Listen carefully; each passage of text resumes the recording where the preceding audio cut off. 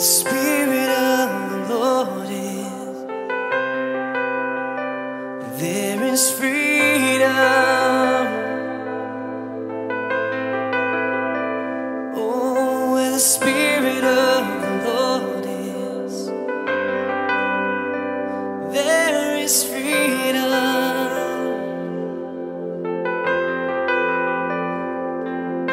And if you're tired or thirsty, freedom. Oh, if you're tired or thirsty, there is freedom.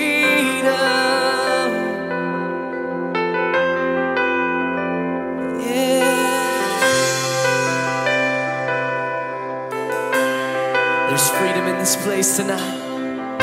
I know a lot of you have felt it already. There may be something else that you're holding on to, that you're just not willing to give up. But He's willing to take it. Just give it to Him. Where the Spirit of the Lord is, there is freedom.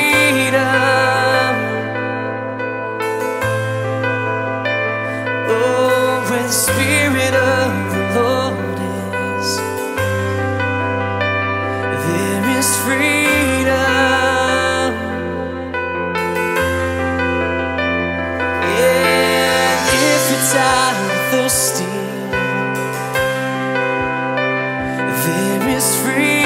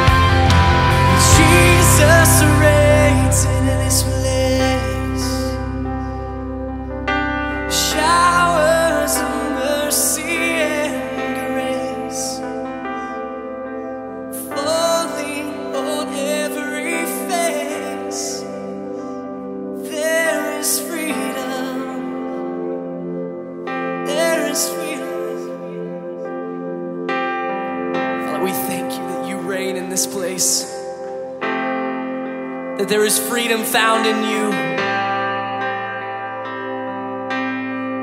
that nothing is impossible in you.